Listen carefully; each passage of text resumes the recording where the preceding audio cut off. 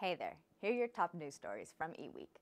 Today's topics include Microsoft's president calling on governments to stop the practice of stockpiling software flaws, TIBCO Software's acquisition of data science platform maker Statistica, Google's implementation of the EU's right to be forgotten mandate, and Microsoft adding Skypebot support to video calls. This past weekend was a stressful one for many IT workers as the WannaCry ransomware attack spread, crippling Windows systems worldwide. In fact, some hospitals in the United Kingdom were forced to shut down in the wake of the attack. WannaCry is a weaponized exploit, part of a cyber espionage toolkit that was allegedly stolen from the U.S. National Security Agency.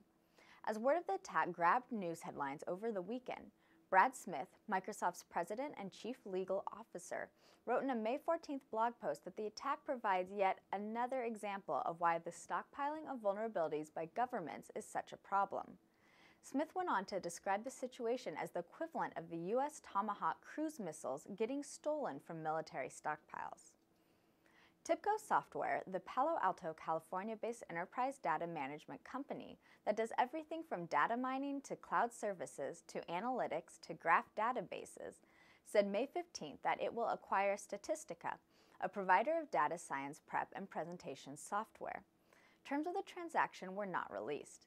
The acquisition will bolster TIBCO's analytics product offerings, adding new capabilities aimed at making it easier for data scientists to use machine learning in a variety of applications, such as those analyzing the often large amounts of data produced in Internet of Things systems.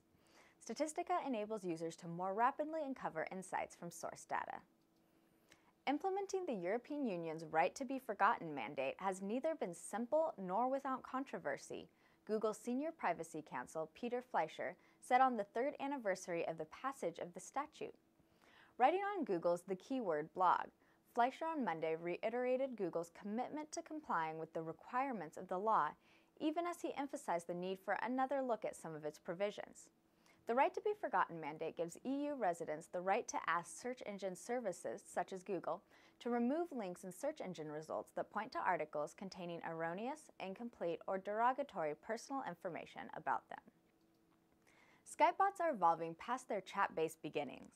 The current selection of Skype bots range from entertaining pastimes to online assistants that help users book travel deals.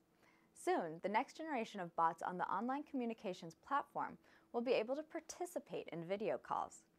During last week's Build Developer Conference, Microsoft announced a range of developer tools that expand how the company's bot platform interacts with users. This includes a software development kit that enables one-on-one -on -one or group video conferences with interactive bots. Bots, however, aren't the only way developers can plug into the Skype ecosystem. Microsoft has developed a new Skype web control that enables website owners to add Skype chat to any site with two lines of code. Thanks for watching. Follow the links on this page to learn more about the stories mentioned in this broadcast, and check back every weekday for another daily tech briefing from eweek.com.